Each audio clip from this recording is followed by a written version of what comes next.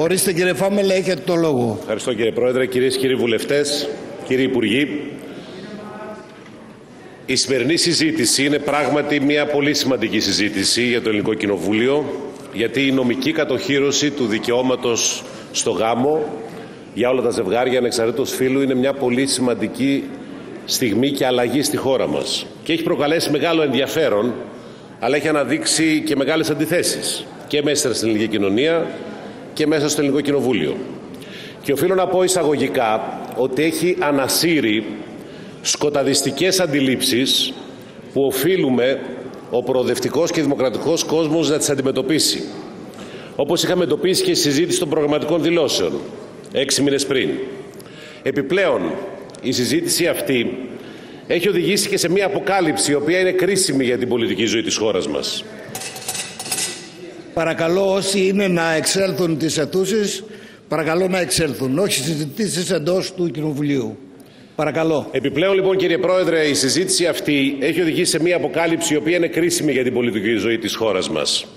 Ένα μεγάλο ρήγμα στην κυβερνητική παράταξη που πατάει σε πολλές βάρκες παραπλανώντας μεγάλα τμήματα της ελληνικής κοινωνίας.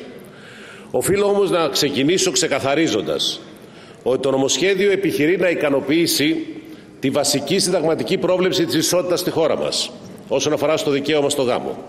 Και αυτή η επίλυση οφείλει να σεβαστεί και να προστατεύσει τα ανθρώπινα δικαιώματα που σαφώς δεν μπαίνουν σε δημοψηφίσματα αλλά και τα δικαιώματα του παιδιού.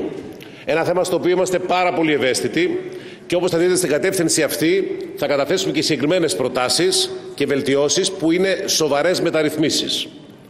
Φαίνεται όμως ότι αυτή τη συζήτηση για τις μεταρρυθμίσεις δεν την αντέχει η Νέα Δημοκρατία. Γιατί ήδη αμφισβητείται η συνοχή της. Το νομοσχέδιο λοιπόν έρχεται να ικανοποιήσει βασικές απαιτήσεις του κράτους δικαίου που άλλες ευρωπαϊκές χώρες έχουν εντοπίσει πολύ νωρίτερα και έχουν λύσει. Άρα είναι μια συζήτηση η οποία αφορά στο ευρωπαϊκό κεκτημένο. Και ο διχασμός της Νέας Δημοκρατίας αποδεικνύει ότι ένα μεγάλο τμήμα της ξεκάθαρα τοποθετείται κατά του ευρωπαϊκού κεκτημένου. Παρά τα έλλειμματά του, του νομοσχεδίου, που είναι πολλά, θα τα συζητήσουμε και στη συνέχεια, τα έχει βάλει και η συγκήτριά μας. Το νομοσχέδιο έρχεται να απαντήσει σε μια βασική υποχρέωση της πολιτείας. Οφείλουμε ως πολιτεία να εξασφαλίσουμε την ισοτιμία στο γάμο για όλα τα ζευγάρια ανεξαρτήτως φύλου, αλλά και να διασφαλίσουμε όλα τα δικαιώματα που απορρέουν από αυτό. Δηλαδή γονεϊκά, κληρονομικά, ασφαλιστικά, προνοιακά, εργασιακά. Δεν καλούμε να κατοχυρώσουμε δικαιώματα για κάτι που θα γίνει, αλλά για κάτι που ήδη υπάρχει. Δεν μπορούμε να κλείνουμε τα μάτια. Για εφιστάμενε οικογένειες με παιδιά όπου ο μη βιολογικός γονέας είναι αόρατος από τον νόμο. Αλλά πολύ συχνά είναι και τα παιδιά. Για γονείς που δεν απολαμβάνουν τα ίδια δικαιώματα. Αλλά και για παιδιά στην κοινωνία μας που δεν έχουν τα ίδια δικαιώματα με άλλα παιδιά. Για παιδιά που έχουν γεννηθεί στο εξωτερικό που δεν μπορούν και θα μπορέσουν επιτέλους να πάρουν την ελληνική ηθαγένεια και δεν θα χάνουν τους δεσμούς τους με τους γονείς τους κάθε, κάθε φορά που επισκέφτονται τη χώρα τους. Για τη γάμη που έχουν εκτελεστεί στο εξωτερικό, αλλά και η σχέση παιδιού γονέα δεν αναγνωρίζονται στην Ελλάδα. Εμείς ως ΣΥΡΙΖΑ Προεδρευτική Συμμαχίας θα είμαστε συνεπείς. Θα στηρίξουμε ακόμα και ένα τμήμα της μεταρρύθμισης, που ήδη εξάλλου έχουμε προτείνει κοινοβουλευτικά. Και προφανώς δεν θα προσβάλλουμε τα ανθρώπινα δικαιώματα για να αναδείξουμε το διχασμό της κυβέρνησης. Γιατί το γνωρίζουμε όλοι και όλες. Ότι με την ψήφο του ΣΥΡΙΖΑ, Προοδευτική Συμμαχία, αλλά και με την ψήφο άλλων προοδευτικών κομμάτων, αυτή η μεταρρύθμιση θα γίνει. Γιατί χωρίς την ψήφο του ΣΥΡΙΖΑ αυτή η μεταρρύθμιση δεν θα γινότανε. Και αυτό πρέπει να καταγραφεί. Όμως τα ανθρώπινα δικαιώματα και το Σύνταγμα είναι πάνω από τις κομματικές επιδιώξεις. Εμείς το ξέρουμε. Κύριε Σκέρτσο, η παράταξή σας δεν το ξέρει και δεν το εφαρμόζει. Γιατί πρέπει να καταγραφεί. Η Νέα Δημοκρατία δεν έχει την επάρκεια να κάνει προοδευτικές μεταρρυθμίσεις. Δεν έχει την επάρκεια και θα φανεί στην ψηφοφορία του νομοσχεδίου να ικανοποιήσει βασικά δικαιώματα, βασικές συνταγματικές προβλέψεις, τη συνταγματική επιταγή της ισότητας. Ο ψευδεπίγραφος εξυγχρονισμός και ο φιλελευθερισμός τους σταματά στις εξαγγελίες και τα μεγάλα λόγια. Εμείς όμως θα στηρίξουμε, γιατί είναι βήμα πρόοδου, είναι βήμα άρσης διακρίσεων. Είναι προφανές ότι το νομοσχέδιο εντάσσεται στον πυρήνα αυτού που λέμε κράτος δικαίου. Αλλά δεν είναι συγχωροχάρτη και ούτε θα επιτρέψουμε να είναι συγχωροχάρτη για τη Νέα Δημοκρατία για τον κύριο Μητσοτάκη. Να το πούμε ξεκάθαρα. Ο κύριος Μητσοτάκης έχει στόχο να μειώσει και να υποβαθμίσει τις δημοκρατικές λειτουργίες και το κράτος δικαίου στην Ελλάδα. Για ποιο λόγο; Για να εξυπηρετήσει το σχέδιο και τα συμφέροντα που τον έφεραν στην εξουσία. Γιατί το σχέδιό τους δεν αντέχει την ισοτιμία, τη διαφάνεια, τις ανεξάρτητες αρχές, την ισχυρή πολιτεία. Πώς αλλιώς θα μπορούσε ο κ. Μητσοτάκης να υλοποιήσει το βασικό του σχέδιο που είναι ένα εκτεταμένο πλιάτσικο στη δημόσια και στην ιδιωτική περιουσία; Που οδηγεί την Ελλάδα στις πρώτες θέσεις της ακρίβειας αλλά στις τελευταίες θέσεις όσον αφορά τη δημοκρατία και το κράτος δικαίου. Στις τελευταίες θέσεις της αγοραστικής δύναμης και στις πρώτες φτωχοποίησης και της εξέλιξης της υποβάθμισης της δυνατότητας των οικοκυριών να τα βγάλουν πέρα. Την προηγούμενη Τετάρτη πέρασε από το Ευρωπαϊκό Κοινοβούλιο ένα σημαντικό ψήφισμα με ευρύτατη πλειοψηφία. Ψήφισμα τεσσάρων πολιτικών ομάδων. Ένα ψήφισμα καταπέλτης για τη χώρα μας. Τι καταγράφει το ψήφισμα; Φυσικές και προφορικές απειλές. Καταχρηστικές αγωγές κατά δημοσιογράφων. Και μάλιστα από υψηλά ιστάμενους πολιτικούς και από το περιβάλλον του Πρωθυπουργού. Μην κουνάτε το κεφάλι, είναι καταγεγραμμένα. Απειλές για την πολυφωνία των μέσων ενημέρωσης καθώς η ιδιοκτησία τους κατανέμεται σε ένα μικρό αριθμό ολιγαρχών με αποτέλεσμα τη δραματική υποβάθμιση ορισμένων θεμάτων όπως το ίδιο το ψήφισμα του Ευρωκοινοβουλίου. Παράνομη χρήση λογισμικού παρακολούθησης όπως το Predator εναντίον πολιτικών, στρατιωτικών, δημοσιογράφων, επιχειρηματιών. Παράνομη εργαλειοποίηση του όρου απειλή για την εθνική ασφάλεια για να πάρει την ΕΕΠ υπό την εποπτεία του ο κύριος Μητσοτάκης. Έλλειψη προόδου στη διαλεύκανση της δολοφονίας Καραϊβάζ το σκάνδαλο της λίστας Πέτσα, πιέσεις και προβληματική λειτουργία ανεξάρτητων αρχών, όπως η αρχή για τη διασφάλιση του απορρίτου των επικοινωνιών ή η αρχή για την προστασία δεδομένων προσωπικού χαρακτήρα, εκφοβισμό δικαστικών λειτουργών, όπως η Ελένη Τουλουπάκη και ο Χρήστος Ράμος, έλλειψη αμεροληψία στην έρευνα για τα τέμπη, άρνηση του Κοινοβουλίου να κάνει έρευνα για πολιτικά πρόσωπα όπως ζήτησε η Ευρωπαϊκή Εισαγγελική Αρχή για τη Σύμβαση 717 έλλειψη προόδου στις έρευνες για το ναυάγιο στην Πύλο, υπερβολική χρήση βίας από την αστυνομία. Τι άλλο να πούμε. Να ξεκαθαρίσουμε κάτι. Για μας το ψήφισμα αυτό δεν αποτέλεσε κεραυνό ενεθρία. Η κυβέρνηση επέλεγε να απαξιώσει τις σοβαρές παραβιάσεις. Το ψήφισμα είναι απλώς καταγραφή όσων διαδραματίζονται στην πατρίδα μας τα τελευταία χρόνια. Η Ελλάδα έχει τη χαμηλότερη κατάταξη από οποιαδήποτε χώρα της Ευρωπαϊκής Ένωσης στον παγκόσμιο δίκτυο ελευθερίας του τύπου η τραγική θέση 107.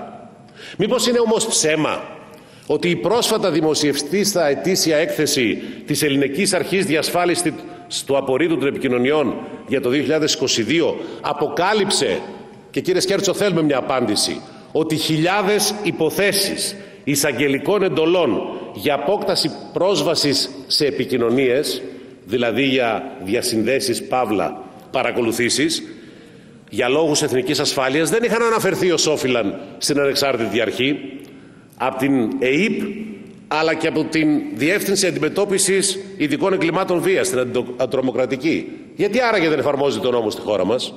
Ενώ ο πρόεδρος της ΑΔΑΕ, ο κύριος Ράμος, στον πρόλογο της έκθεσης κάνει αναφορά σε σοβαρές αντιθεσμικές παρεμβάσεις μέσω των οποίων αμφισβητήθηκε η ανεξαρτησία της ίδιας της αρχής, αλλά και για απειλητικούς υπενιγμούς ότι θα ετίθεται το θέμα άσκησης ποινικών διώξεων εις βάρος των μελών και του προσωπικού της αρχής αν ασκούσαν τις ευθύνες τους, την υποχρέωσή τους, τη συνταγματικά κατοχυρωμένη υποχρέωσή τους. Τη συνεχιζόμενη επιδείνωση του κράτους δικαίου δεν καταγγέλουν και 17 οργανώσεις που απευθύνθηκαν στην κυρία Φοντερ Λάιεν ζητώντας άμεσες ενέργειες από την Κομισιόν. Η ίδια κατάσταση δεν αποτυπώνεται και στην έκθεση της Διεθνούς Διαφάνειας σύμφωνα με την οποία η χώρα μας κατρακύλησε 8 θέσεις από την 51η στην 59η και για πρώτη φορά μετά από 10 χρόνια γινόμαστε αντικείμενο άμεσης παρακολούθησης για τα ζητήματα αυτά. Αντί όμως η κυβέρνηση και οι βουλευτές της να κινητοποιηθούν για ζητήματα που προσβάλλουν την πατρίδα μας, για να αλλάξει αυτή η εικόνα, επιδίδονται σε έναν αγώνα υποβάθμισης και, αξιο... και απαξίωσης του ψηφίσματος. Φτάνουν δε στο σημείο και ο ίδιος ο κύριος Κέρτσος να κατηγορήσει τους Έλληνες ευρωβουλευτές ως ανθέληνες. Και ζητώ κύριε Σκέρτσο να αποσύρετε τώρα εδώ δημόσια αυτό το χαρακτηρισμό. Τον αποσύρετε; Οι υπόλοιποι 328 κύριε Σκέρτσο που ψήφισαν το ψήφισμα αυτό τι είναι; Παραπλανημένοι ή ανθέληνες. Αντί να καταθέσετε αποδείξεις στο Ευρωκοινοβούλιο που να αποδεικνύουν το αντίθετο, επιτίθεστε και το επιβεβαιώσατε σήμερα με τα πρακτικά του Κοινοβουλίου με λέξεις βρώμικες και απειλητικές όπως το κάνατε τότε που κατηγορούσατε το ΣΥΡΙΖΑ για εθνική εξαίρεση. Δηλαδή λέτε στην Έλληνα την Κουντουρά και στον Κώστα τον Ορθανίτη που ήταν εισηγητής να πούνε ψέματα. Δηλαδή ζητάτε από Έλληνες ευρωβουλευτές να πούνε ψέματα για να καλύψουν την κυβέρνησή σας. Να μην υπερασπιστούν την αλήθεια, να μην υπερασπιστούν τη δημοκρατία, να μην υπερασπιστούν τα δικαιώματα των πολιτών, αλλά να πούνε ψέματα. Και ενώ ξέρετε, και το έχω εδώ μαζί μου, ότι στο πόρισμα, το ψήφισμα, υπάρχει συγκεκριμένο άρθρο, το άρθρο 27, το οποίο έγινε με παρέμβαση των Ελλήνων Ευρωβουλευτών της Αριστεράς, έτσι ώστε να μην έχει σκληρές επιπτώσεις η χώρα μας από τη δική σας ανεπάρκεια. Και τους κατηγορείτε κιόλας. Είστε διπλά ψεύτης και υποκριτής. Αλλά επειδή δεν το παίρνετε πίσω και επειδή κάποια πράγματα οφείλουμε να τα ξεκαθαρίζουμε και εφόσον δεν έχετε ανασκευάσει, με υποχρεώνεται να υπερβώ τον κανόνα που έχουμε θέσει εμείς της, κομμα... της κοινοβουλευτικής δεοντολογίας. Να το ξεκαθαρίσουμε λοιπόν. Κυρίες και κύριοι βουλευτές, ανθέληνες είναι όσοι δεν υπερασπίζονται τη δημοκρατία και το κράτος δικαίου. Όσοι προσβάλλουν την Ελλάδα στις διεθνείς λειτουργίες. Όσοι προσβάλλουν τους πολίτες και τις ανεξάρτητες αρχές. Όσοι μας έκαναν μαύρο πρόβατο στα θέματα δημοκρατίας. Και όσοι ζητούν τώρα από τους ευρωβουλευτές να πούνε ψέματα για να καλύψουν τον κύριο Μητσοτάκη. Μέχρι πού θα φτάσετε; Πόσο μακριά είναι ο κατήφορος του ψευδοεξυγχρονιστή. Και το λέω και για σας προσωπικά. Αλλά η απαξίωση του Ευρωκοινοβουλίου δυστυχώς και με δηλώσεις του κυρίου Βορύδη που χαρακτήρισε το ψήφισμα ακραίο και εμπαθές μετά την απαξίωση της εισαγγελικής αρχής για τη Σύμβαση 717 αποδεικνύει και κάτι ακόμα κυρίες και κύριοι βουλευτές ότι αυτή η κυβέρνηση δεν έχει καμία σχέση με το σύνθημα «Μένουμε Ευρώπη». Ένα υποκριτικό σύνθημα ήταν και αυτό. Γιατί το μόνο που κάνετε σε όλα τα επίπεδα είναι να αποκλίνουμε από την Ευρώπη. Και στην οικονομία και στη δημοκρατία. Και αυτό μας πονάει μας περισσότερο. Σας νοιάζει μόνο η εικόνα προς τα μέσα. Όχι τι γίνεται πραγματικά στην Ελλάδα και τι εικόνα έχουν και οι έξω από την Ελλάδα. Είναι πιο σημαντικό δηλαδή να προστατευτεί η επικοινωνιακή σας εικόνα από το να ενισχυθούν οι θεσμοί οι οποίοι έχουν πληγεί. Και να πάμε όμως και στο νομοσχέδιο. Γνωρίζετε ότι το ψήφισμα του Ευρωκοινοβουλίου που έχετε απαξιώσει μιλάει μέσα θετικά για το σημερινό νομοσχέδιο; Πώς γίνεται ότι το αποξιώνετε ενώ ταυτόχρονα υπερασπίζετε και το νομοσχέδιο; Θα διαλέξετε. Με κάτι απ' όλα πρέπει να είστε. Ξέρετε όμως γιατί έρχεται ίσως αυτή τη χρονική στιγμή; Και είναι μειονέκτημα για την κοινωνία μας και τη δημοκρατία. Φέρνετε αυτό το νομοσχέδιο για να καλύψετε για λίγο την κατακραυγή που στο εξωτερικό αναπτύσσεται για το κράτος δικαίου στην Ελλάδα. Και κυρίες και κύριοι βουλευτές, είναι ξεκάθαρο ότι υπάρχει προοδευτική κατεύθυνση στο νομοσχέδιο. Ήρθε όμως με σημαντική καθυστέρηση. Με αυτή τη νομική ρύθμιση η χώρα μας ακολουθεί τα πρότυπα της Ευρωπαϊκής Ένωσης. Αφουγκράζεται τις ανάγκες της σύγχρονης κοινωνίας για τη δημιουργία συνθηκών ισότητας και συμπερίληψης. Πρόκειται για μια νομοθετική μεταρρύθμιση αναντήρητα, επιβεβλημένη, να το ξεκαθαρίσουμε. Οι διατάξεις του νομοσχεδίου χρήζουν βελτίωσης. Πολλές από αυτές τις έχουμε αναφέρει. Κάποιες έχουν κατατεθεί και σε τροπολογίες. Όμως θέλω να ξεκαθαρίσουμε κάτι. Μπορεί να ακολουθεί αποφάσεις ευρωπαϊκών δικαστηρίων τις ανάγκες της κοινωνίας. Αλλά το νομοσχέδιο αυτό δεν ανήκει στην κυβέρνηση και δεν τη χαρακτηρίζει. Για μας το ΣΥΡΙΖΑ είναι αυτονόητο ότι θα στηρίξουμε τις ρυθμίσεις του. Καθώς η άρση των διακρίσεων λόγω φύλου στο οικογενειακό δίκαιο είναι η σειρά, ή αν θέλετε σε σειρά δικών μας μεταρρυθμίσεων που προωθήσαμε τα δύσκολα χρόνια, το 2015-19, με την επέκταση του Συμφώνου Συμβίωσης, με την νομική κατοχήρωση της ταυτότητας φύλου, με το δικαίωμα αναδοχής τέκνων από όλους, αλλά και με κατοχήρωση δικαιωμάτων στην εργασία. Οι αλλαγές που επέφερε ο ΣΥΡΙΖΑ ως κυβέρνηση στην νομοθεσία της χώρας μας συνέβαλαν στην ορίμανση της κοινωνίας και στην επίτευξη ενός πιο προοδευτικού θεσμικού πλαισίου. Δεν μπορούμε όμως να κρύψουμε ότι τα περισσότερα στελέχη της Νέας Δημοκρατίας καταψήφισαν τις αλλαγές αυτές που αποδείχθηκαν και ενσωματώθηκαν στο θεσμικό πλαίσιο και έχει αποδεχτεί η κοινωνία μας και βελτίωσαν το κράτος δικαίου στην Ελλάδα. Δεν τις έχετε ψηφίσει. Δεν τις έχετε ψηφίσει. Ενώ λύσαν προβλήματα, αντιμετώπισαν διακρίσεις και είναι η βάση για το νομοσχέδιο που συζητάμε σήμερα. Ο ΣΥΡΙΖΑ κατέθεσε μία πρόταση νόμου για την ισότητα στο γάμο δύο φορές, το 22 και το 24. Δεν είχαν γίνει αποδεκτά αυτά από τη Νέα Δημοκρατία και ήταν πιο προωθημένα από το νομοσχέδιο που φέρνετε σήμερα. Αυτό δεν μας στερεί τη δυνατότητα να στηρίξουμε τη σημερινή νομοθετική πρωτοβουλία. Εξάλλου αντιστοιχεί σε πολλά από αυτά που διεκδικούσαμε. Όπως αποδείχθηκε από την ακρόαση των φορέων και τους ακούσαμε πολύ καλά, οι φορείς θέλανε πιο προωθημένες λύσεις. Μίλησαν για στοχευμένες αλλαγές. Μπορώ να σταχυολογήσω, κύριε Πρόεδρε, ορισμένα από αυτά που ακούστηκαν. Είπαν ότι μια οικογένεια που δίνει αγάπη και φροντίδα στα παιδιά της είναι μια οικογένεια που αυξάνει την ψυχική ανθεκτικότητα. Ότι επιτελεί βασική προπόθεση για την ολόπλευρη ανάπτυξη όλων των παιδιών να είναι θεσμικά κατοχυρωμένες και κοινωνικά ορατές όλες οι μορφές οικογένειας. Ότι δεν μπορεί να αρνηθεί κανείς τα παιδιά που μεγαλώνουν σε μια οικογένεια ότι αυτή δεν είναι ιεραρχικά κατώτερη από τις υπόλοιπες και ότι πρέπει να εξασφαλίσουμε σε κάθε άτομο και κάθε οικογένεια, ανεξαρτήτως του σεξουαλικού προσανατολισμού ή του φίλου, ότι έχει τη δυνατότητα να ακμάζει και να ζει τη ζωή της με αυθεντικότητα. Εμείς τους ακούμε και δηλώνουμε ότι θα σταθούμε στο ύψος της ευθύνης. Γιατί εμείς οι βουλευτές από όλα τα κόμματα έχουμε την ευθύνη να σταθούμε και απέναντι στο ακροδεξιό λόγο, απέναντι στο σκοταδισμό, να δίνουμε και παιδευτικά μηνύματα στην κοινωνία, να προχωράμε σε πραγματικά συμπεριληπτικές και προοδευτικές τομές. Και πρέπει να συνεχίσουμε και μετά την ψήφιση του νομοσχεδίου. Το γνωρίζουμε για την συνεχή και συνεπή εφαρμογή του, για να προχωρήσουν οι αλλαγές και να αποκονιστεί αυτή η αλλαγή της νομοθεσίας πραγματικά στη ζωή. Όπως σας είπα, έχουμε εντοπίσει αρκετά ζητήματα στο νομοσχέδιο. Βάλαμε πολλά, γιατί είναι πολλά τα οποία προκύπτουν. Και η αγωνία μας για διακρίσεις που ή δημιουργούνται ή παραμένουν. Επιλέξαμε να παρεύουμε σε δύο ζητήματα. Το ένα αφορά στο τεκμήριο γονεϊκότητας. Την αναγνώριση δηλαδή της γονεϊκής σχέσης με τα παιδιά που γεννιούνται εντός γάμου που δεν αναγνωρίζονται για ένα από τα μέλη της οικογένειας. Αυτό το ζήτημα, πρέπει να πω κυρίες και κύριοι βουλευτές της συμπολίτευσης, μπαίνει ξεκάθαρα και από την επιστημονική υπηρεσία της Βουλής. Λέει λοιπόν η επιστημονική υπηρεσία της Βουλής ότι η ρύθμισή σας είναι ατελής. Πρέπει να απαντήσετε. Γιατί δημιουργεί διακρίσεις. Δηλαδή με τις ρυθμίσεις σας τίθεται το ερώτημα μπορεί νομίμως το ομόφυλο ζεύγος γυναικών να προσφεύγει σε διαδικασίες υποστήριξης αναπαραγωγής; Δηλαδή, να μπορεί να παρέχει τη συνένεσή του κατά την κείμενο νομοθεσία; Όχι.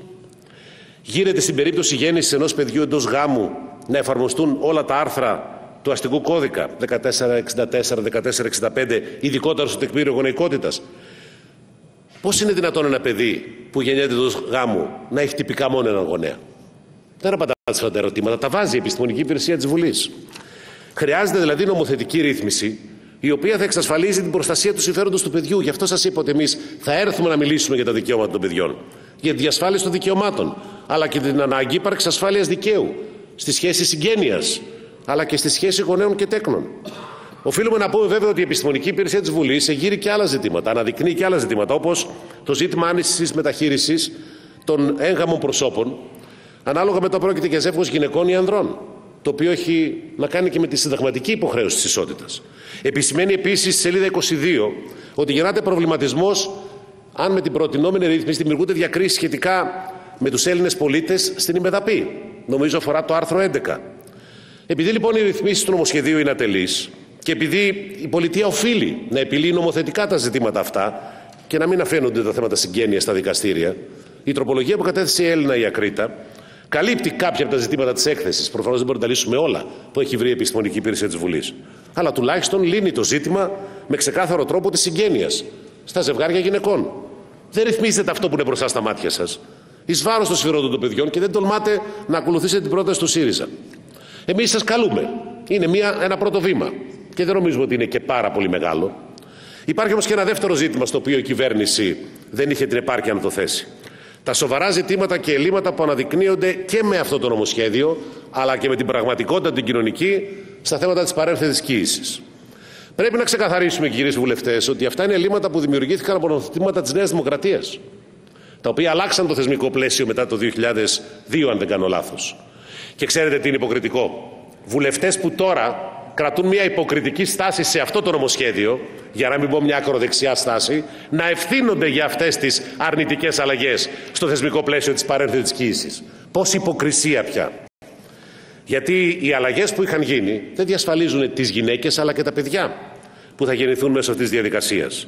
Με βάση λοιπόν τις προτάσεις διεθνών οργανισμών, καθόλου αξιόπιστων, δεν πιστεύω κύριε Σκέρτσο να τους αμφισβητείτε, καταθέσαμε δια της Αθηνάς Λινού μια ακόμα τροπολογία και θα έλεγα μια προοδευτική μεταρρύθμιση προς όφελος των παιδιών και των γυναικών. Πιστεύουμε λοιπόν ότι πρέπει να τεθούν αυστηρότεροι όροι και όχι για τα θέματα που διαχειρίζεται το νομοσχέδιο, αλλά για όλα τα ζευγάρια, να το ξεκαθαρίσουμε αυτό στο ζήτημα της παρένθετης κοίησης και δεν έρχεται καθόλου σε αντίθεση, κύριε Σκέρτσο, με την νομοθετική πρωτοβουλία μας του 2022 και του 2024, το αντίθετο. Στην πρόταση αυτή που καταθέτουμε υπάρχει ανάγνωση της ισότητας ανεξαρτήτως φύλου. Άρα είμαστε απολύτως συνεπείς με τη δική μας ανάγνωση. Γιατί τα ζητήματα τα οποία έχουν προκύψει, και μην το κρύβετε, έχουν να κάνουν με προβλήματα στην εφαρμογή της νομοθεσίας σε ετερόφιλα ζευγάρια. Και για να μην το κρύψουμε, δεν έχετε ακούσει για το σκάνδαλο της κλινικής των Χανίων; Δεν έχετε ακούσει για την προβληματική διαχείριση του θέματος από την αρχή ή από τον πρόεδρο που εσείς πάψατε; Όλα αυτά δεν τα έχετε ακούσει; Μήπως γιατί συνδέονται με δικές σας κομματικές ευθύνες; Εσείς όμως επιλέγετε να εθελοτυφλείτε, να κουκουλώνετε και αυτό το ζήτημα. Εδώ λοιπόν σας ξεκαθαρίζουμε. Εμείς ως κοινοβουλευτική ομάδα θα υποστηρίξουμε συνολικά και τις δύο τροπολογίες οι οποίες μας εκφράζουν απόλυτα. Εσείς όμως πρέπει να πάρετε θέση. Τις αποδέχεστε ή όχι; Διότι εσείς τώρα πλέον θα ανοίξετε τον ασκό του αιώλου αν δεν επιλύσουμε κάποια πραγματικά προβλήματα. Πέρα όμως από το περιεχόμενο του νομοσχεδίου και πρέπει να ολοκληρώσω κύριε Πρόεδρε η δημόσια και κοινοβουλευτική συζήτηση ανέδειξε και δύο ακόμα σοβαρά ζητήματα. Πολιτικά. Άσχετα με το νομοσχέδιο και δυστυχώς το προσβάλλουν, γιατί εμείς θέλαμε να συζητήσουμε μόνο για δικαιώματα σήμερα, αλλά και για μεγάλα πολιτικά ζητήματα. Η κυρία Σιρεγγέλα, η συγγήτρια Νέας Δημοκρατίας, αλλά και ο κύριος Κέρτσος στις επιτροπές, μας είπαν ότι η αντίθεση στο νομοσχέδιο είναι σαν να πηγαίνουμε κόντρα στις καταστατικές αρχές του συντάγματος.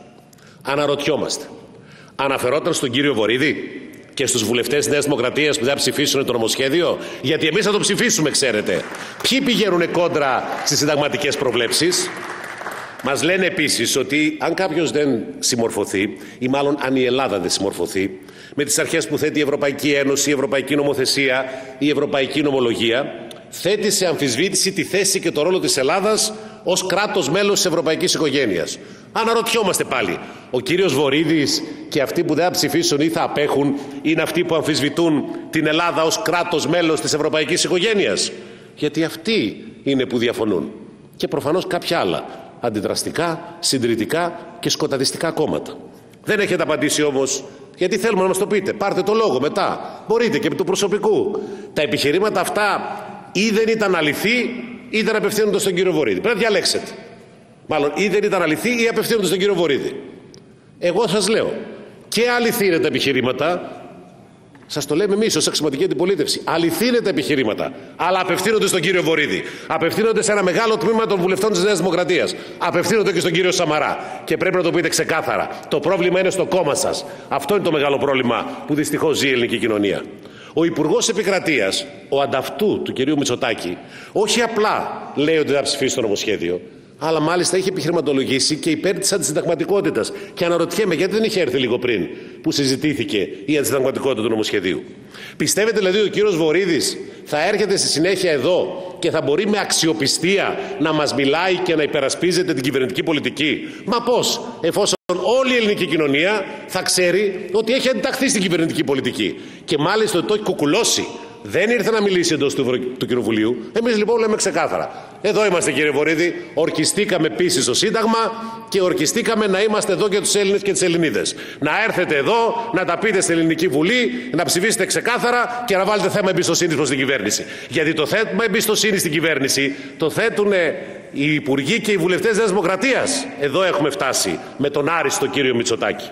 Ρωτάμε λοιπόν ξεκάθαρα. Πόσα μέλη του Κοινοβουλίου αμφισβητούν το ρόλο της Ελλάδας στην ευρωπαϊκή οικογένεια, πόσοι υπουργοί αμφισβητούν τις συνταγματικές υποχρεώσεις της χώρας, πόσοι υπουργοί και βουλευτές της Νέας Δημοκρατίας πιστεύουν ότι δεν πρέπει να υπάρχει ισότητα στο γάμο, ότι δεν πρέπει να έχουν δικαιώματα τα παιδιά, ότι πρέπει να υπάρχουν αόρατοι γονείς και αόρατα παιδιά. Αυτό είναι το ερώτημα που τίθεται σήμερα στην ελληνική κοινωνία. Και η αλήθεια δεν κρύβεται. Προσπαθείτε να ισορροπήσετε σε πολλές βάρκες και δυστυχώς η πιο μεγάλη είναι της ακροδεξιάς. Γιατί τώρα οι βουλευτές σας θα πηγαίνουν στους νομούς και θα λένε στους πολίτες εμείς δεν το ψηφίσαμε, εμείς το ψηφίσαμε για να μπορέσουν να είναι με όλους καλοί. Για ποιο λόγο όμως, για την ψηφοθυρία. Αυτό όμως είναι μια χιδαία πολιτική επιλογή.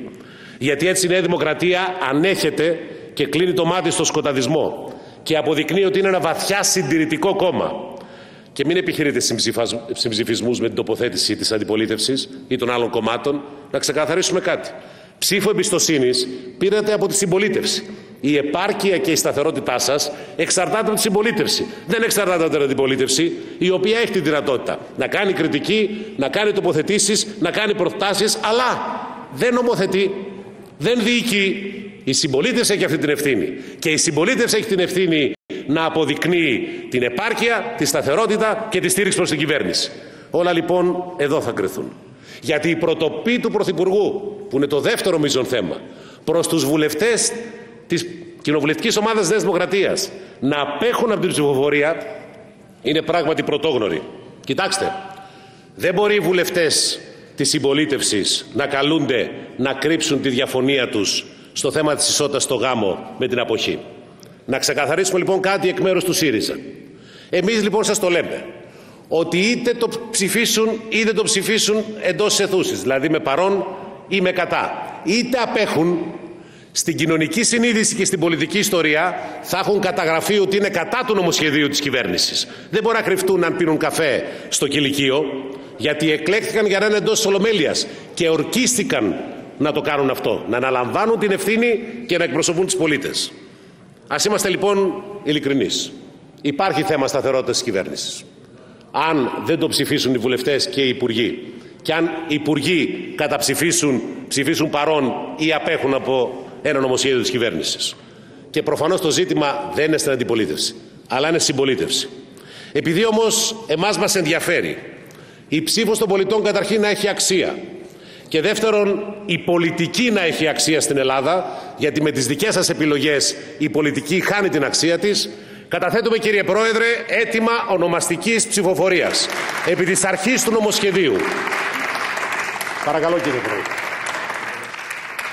Γιατί κυρίες και κύριοι βουλευτές, απέναντι στα ανθρώπινα δικαιώματα και απέναντι στο μεγάλο ερώτημα της σύμπλευσης της χώρας με την ευρωπαϊκή οικογένεια, το κρυφτούλι δεν είναι ανοιχτό.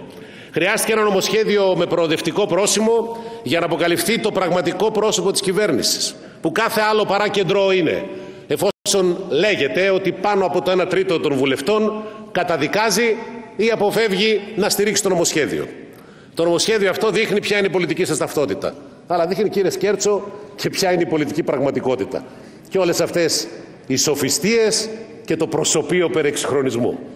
Δυστυχώς, έλαχε σε εσάς να καταρρύψετε εσείς που φτιάξατε και φιλοτεχνήσατε αυτό το προσωπείο το πόσο υποκριτής είστε και δυστυχώς είναι και προσωπικό το ζήτημα αυτό διότι δεν μπορεί άλλα να λες και άλλα να κάνεις. Σας ζήτησα κύριε Σκέρτσο και ήρθαμε στην Επιτροπή να πάρετε μια ελάχιστη σοβαρή στάση. Να πείτε εκ του βήματος βολής ότι οι βουλευτές υποχρεούνται να τηρούν τη συνταγματική τους υποχρέωση και να έρχονται στη Βουλή. Δεν τολμήσατε να πείτε ούτε αυτό. Ο εξυγχρονισμός τους, το κεντρό προφίλ, φτάνει μέχρι τα όρια του κομματικού συμφέροντος. Δεν τόλμησε να πει ο Υπουργός ότι είναι υποχρέωση των βουλευτών να τηρούν τον όρκο τους. Αυτό δυστυχώς είναι μια πολύ άσχημη εξέλιξη για την ελληνική κοινωνία. Εμείς λοιπόν το ξεκαθαρίζουμε. Χωρίς τη στήριξη των πραγματικά προοδευτικών δυνάμεων του Κοινοβουλίου και της κοινωνίας αυτό το νομοσχέδιο δεν μπορεί να περάσει. Και εμείς αισθανόμαστε τιμή να στηρίζουμε τα δικαιώματα, να υπερασπιζόμαστε τα ανθρώπινα δικαιώματα, να στηρίζουμε το ευρωπαϊκό κεκτημένο της χώρα μας. Γιατί δεν είμαστε όλοι και όλες ίδιοι. Γιατί για μας δεν έχει σημασία η κομματική εξυπηρέτηση και το προσωρινό κομματικό συμφέρον. Έχει σημασία η δημοκρατία, έχουν σημασία τα δικαιώματα. Δεν βάζουμε την καρέκλα μπροστά και δεν θα κάνουμε ποτέ μικροκομματικά τερτύπια. Γιατί για μας ο όρκος μας, το σύνταγμα, η δημοκρατία και τα δικαιώματα είναι πάνω απ' όλα. Η ισότητα δεν είναι θέμα προς συζήτηση. Είναι αδιαπραγμάτευτη. Και όσο και αν θέλουν κάποιοι να μας κρατάνε πίσω, η κοινωνία προχωρά και εξελίσσεται και γίνεται συμπεριληπτική χάρη και στο ΣΥΡΙΖΑ και στις πρωτοβουλίες του. Και για μας είναι παράσημο αυτή η συζήτηση. Γιατί εμείς φέραμε τη συζήτηση ως εδώ. Και επειδή αυτή την περίοδο έχουμε σε εξέλιξη και άλλα σημαντικά θέματα, όπως είναι η κινητοποίηση των αγροτών, όπως είναι η κινητοποίηση των φοιτητών, των μαθητών και όλης της εκπαιδευτικής κοινότητας, οφείλουμε να πούμε ότι δεν είναι μόνο οι κοινοβουλευτικές πρωτοβουλίες και οι κοινοβουλευτικές πρωτοβουλίες της αριστεράς που πάνε μπροστά την κοινωνία. Είναι και οι διεκδικήσεις των πολιτών που πάνε μπροστά την κοινωνία. Είναι οι αγώνες, οι συλλογικότητες, οι κινητοποιήσεις και τα κινήματα. Γιατί με τη διεκδίκηση διασφαλίζονται και τα δημόσια αγαθά και η δημοκρατία. Γιατί με τη διεκδίκηση διασφαλίζεται και η δημόσια παιδεία και η δημόσια υγεία και όλα τα δημόσια αγαθά. Γιατί αυτές είναι οι δικές μας προτεραιότητες και αξίες. Μένει σε εσάς να τοποθετηθείτε τώρα και να ψηφίσετε όλοι και όλες για να δούμε τις δικές σας προτεραιότητες. Ευχαριστώ πολύ κύριε Πρόεδρε.